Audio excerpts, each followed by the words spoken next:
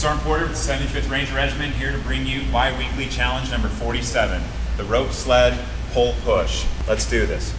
The rope sled pull push challenge is set up with 70 pounds on top of a sled and at least a 15 yard rope attached to the sled. You first pull the sled 15 yards until it gets to the competitor and then push the sled back to the starting line. This is repeated five times as fast as possible.